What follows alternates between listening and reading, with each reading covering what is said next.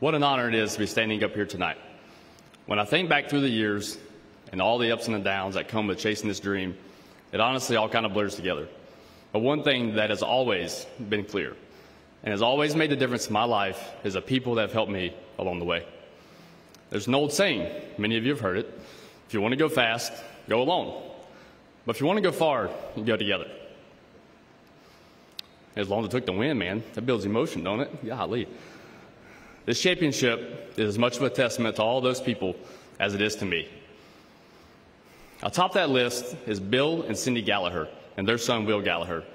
Bill, you told me seven years ago that you were going to change my life. Man, did you ever. I would not be standing here today without the support of your family and everyone at Poppy Bank.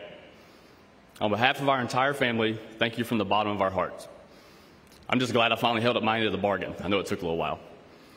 Coach Gibbs, Coy Gibbs, Steve D'Souza, thank you so much for allowing me to drive for Joe Gibbs Racing this season.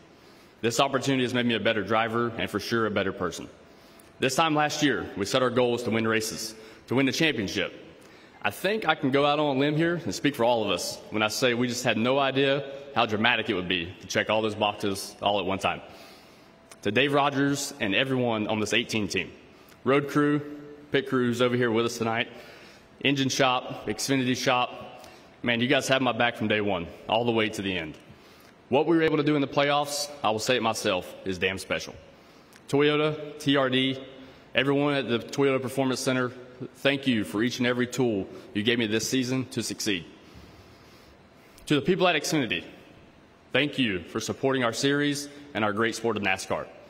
I'd also like to thank RV Share, Bell Helmets, and Sparco for their continued support through the years.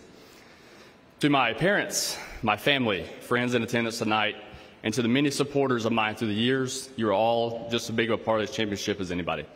And to my wife, Kenzie, here I got to hold it together. From the times of you having to make sure you pointed me to park on a, a hill so you could help me jumpstart my car, to being here tonight, as beautiful as always. You've never once wavered. You sacrificed so much so that you, Rhen, and I can live this dream. Doing it together means the world to me. Look forward to whatever's next for us.